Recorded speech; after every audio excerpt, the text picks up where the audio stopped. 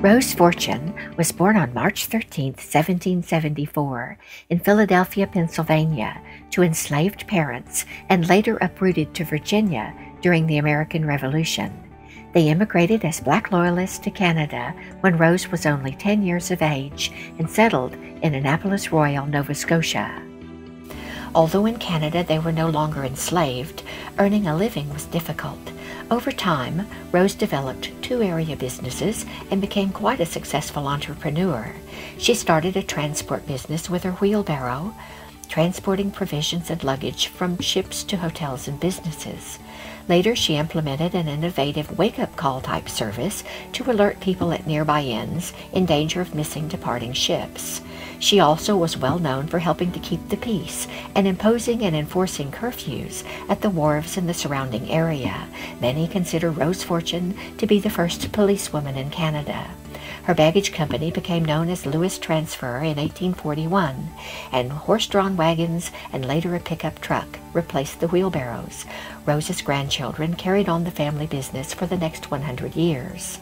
She died on February 20th, 1864, only three years before Confederation when Canada officially became a country, and was buried in an unmarked grave at the Garrison Graveyard at Fort Anne in Annapolis Royal, Nova Scotia's oldest English graveyard. Rose Fortune's legacy continues today. The Association of Black Law Enforcers have created a scholarship in her name, and one of her descendants, Daurene Lewis, was elected mayor of Annapolis Royal in 1984, thus becoming the first black female mayor in Canada. Doreen portrays her ancestor Rose in the Ghosts of the Sinclair exhibit operated by the Annapolis Heritage Society. The heartwarming story of Rose Fortune has been told nightly since 1992 on Alan Melanson's world-renowned Candlelight Graveyard Tours, sponsored by the Historical Association of Annapolis Royal. One evening, a New York playwright, George Cameron Grant, took Alan's graveyard tour and was inspired by Rose's story. He later wrote the award-winning play Fortune. Bay Ferries named their new ferry the Fundy Rose after Rose Fortune. It operates daily from St. John, New Brunswick to Digby, Nova Scotia, which is located only 30 minutes from Annapolis Royal. The Historical Association of Annapolis Royal launched campaigns to have her photo on Canadian currency and a postage stamp, and also nominated Rose to the Historic Sites and Monuments Board of Canada to be considered for status and recognition as a nationally significant historic figure.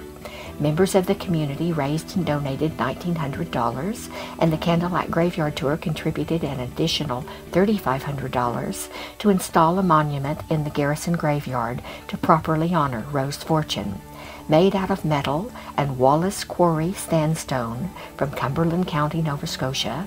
It is in the shape of a stylized wheelbarrow bench. It is designed and constructed by local blacksmith Brad Hall for unveiling and dedication by the Historical Association of Annapolis Royal and the community at 10:30 a.m. on Canada Day, July 1st, 2017, as a special Canada 150 event to commemorate the 150th birthday of the country and to honor one of the most inspirational and beloved figures in Canada, Rose Fortune.